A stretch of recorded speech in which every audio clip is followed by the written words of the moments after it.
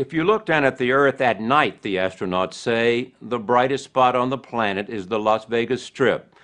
The man who turned up the wattage in Las Vegas is casino mogul Steve Wynn. He set off a building boom in the 1980s that turned a bunch of gambling joints into an international tourist spot. Las Vegas became the fastest growing city in America until the recession hit it hard. Now the population is in decline and the gambling industry is in desperate shape. Revenues in Steve Wynn's Las Vegas properties plummeted 32% last quarter, but the economy didn't stop him from opening his most opulent casino resort yet, the Encore. I've known Steve Wynn both personally and professionally for about 15 years. He invited us to the Encore's opening night. If all of our customers and friends are at the tables, gentlemen and ladies, place your bets. Let the games begin. At 67, Steve Wynn is a legend in Las Vegas. You're going to start a gambling joint, start a gambling joint. The man with the Midas touch who added glamour to the gambling industry. Isn't this fun? That's perfect. Even in this recession, thousands came to try their luck at his new casino. That's what I'm talking about! Encore cost nearly $2.3 billion, a risky bet in a bad economy. Why, in this economic environment, would you open a well, hotel? I'll tell you right now that if I had any idea that this, I wouldn't if I had a choice. But this project was started four years ago. These things have a huge lead time. The gambling industry has been battered by the recession and taken the city of Las Vegas down with it. Some casinos stand half built. Unemployment is over 10%. And while Steve Wynn has had to slash employees' pay and lower room prices, he plows ahead, doing whatever it takes to get customers to his new hotel. This is Encore.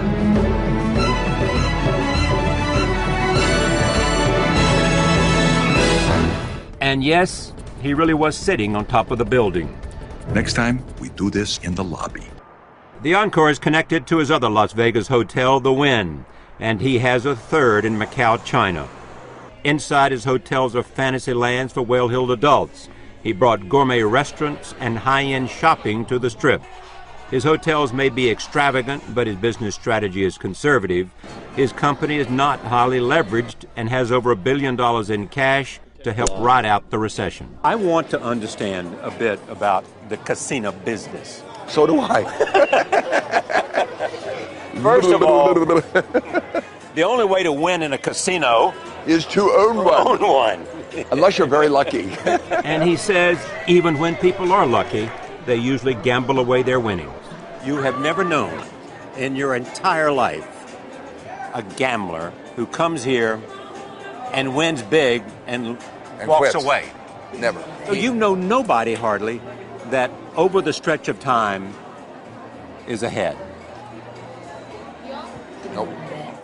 The customer's loss is Steve Wynn's gain. He is a billionaire, but he isn't all that interested in gambling. His passion is creating the resorts. You satisfied with the way the light is hitting our flowers?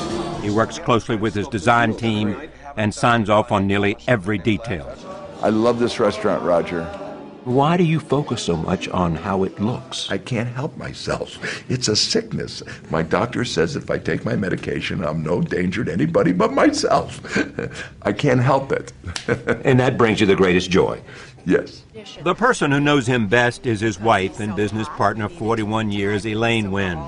And although the Wynns have filed for divorce, they say she will remain part of the business and on the board of directors. What is it that he has? He brings a businessman's intelligence and awareness of what it takes to make a property successful. And yet he can put that on a side shelf and go crazy making the most extraordinary environments. He understands innately what the public will respond to. And what the public will pay for. Does the money matter a lot? It enables him to have a, a kind of freedom. There's rich freedom and poor freedom. you know, you can be a ski bum and a beach bum. That's poor freedom. That's poor freedom. yeah. Steve is Steve likes rich, rich freedom. freedom.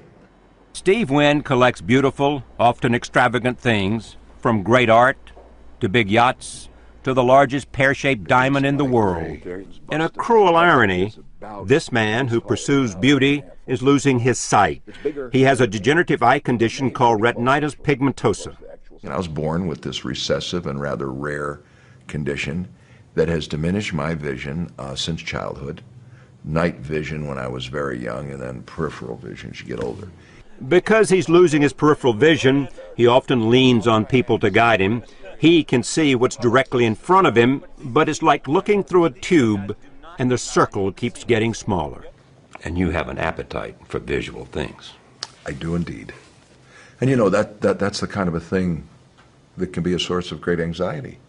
You say, well, suppose I can't enjoy the things that I, that I love seeing so much. So there you are. That's it. You're face to face with the threat, the menace. I won't be able to see this at some point in the future, even though I can see it now. What, what this painting has is mood. But he says he doesn't feel sorry for himself and continues to enjoy his extraordinary art collection. Le Rêve. That's Le Rêve, The Dream by Picasso.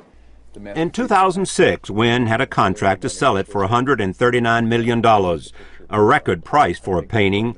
He was showing it off to some friends when, in gesturing to the picture, I turned to the right and caught her right on the arm and poked a hole in the picture the size of the end of my thumb. We stood there in, in shock. I can't believe I've done it. Oh no. Oh no. Th- and then I said, thank God it was me and not someone else. And here is a photograph. There's, I don't know if you can see the, the picture, there's the tear right there. He had the picture restored and it's no longer for sale. But the fact of the matter is, what stands historically is that the painting, painting was damaged by its owner. Uh, the Clouseau of collectors Wynn. But look, uh, people make mistakes. Steve Wynn has made few mistakes in his business career. He grew up in the gambling business. His father, Michael Wynn, owned a string of bingo parlors. When Steve was 10, his father took him to Las Vegas for the first time. It was 1952, and Nevada was the only state in America where gambling was legal. Your father Yeah, was a charming man. but a, but a compulsive gambler. And you're in the gambling business. That's one of many ironies It is. about you. It is, and it's accidental, but it is an irony. Uh, my father had a terrible problem with gambling. He was a, a guy that enjoyed that activity so much that he lost control of it. Michael Wynn died during heart surgery at age 47, leaving the family with a gambling debt of $350,000. Steve Wynn took over the family business, made a success of it, and paid back the money his father owed. I would give anything for a half hour, 15 minutes with my father to walk him through anything that good fortune has allowed to come my way these past 40 years. And have him stand outside and look on the building, and it says, Uh, Wynn. He changed his name. when he was a kid, he was Weinberg, In fact, you were born Weinberg. and then he changed it to when I was about six months old. Steve and Elaine Wynn moved to Las Vegas in 1967. His career took off when he invested in the Golden Nugget and added hotel rooms to the casino. Hi, I'm Steve Wynn, and this is one of the beautiful suites in the Golden Nugget of Las Vegas, which, as He became its president by the time he was 31 and convinced Frank Sinatra not only to sing, but to appear in a series of commercials. Hi, Mr. Sinatra. I'm Steve Wynn. I run this place. You see, I get enough towels. The Golden Nugget became Wynn's golden egg. Las Vegas was just a bunch of casinos in the 1980s when Steve Wynn built the Mirage, the first luxury resort on the Strip. Outside, a volcano exploded every 15 minutes. Inside, he hired Siegfried and Roy to perform. Next door, he built another hotel and brought Cirque du Soleil to Las Vegas for the first time. The Strip wasn't just about gambling anymore, and Steve Wynn was hailed as a visionary. I've been given too much credit for that, really. If you look at Las Vegas in 1980s, there hadn't been anything built since 1973 new. And so the city was in a time warp. And, and as has so often been the case, in the valley of the blind, the one-eyed man is king. so, so, so you had an idea and you were king. All of a sudden, I looked like uh, I was a rocket scientist. Not a rocket scientist, but a showman. Captain of the Britannia. Ready, aim, fire!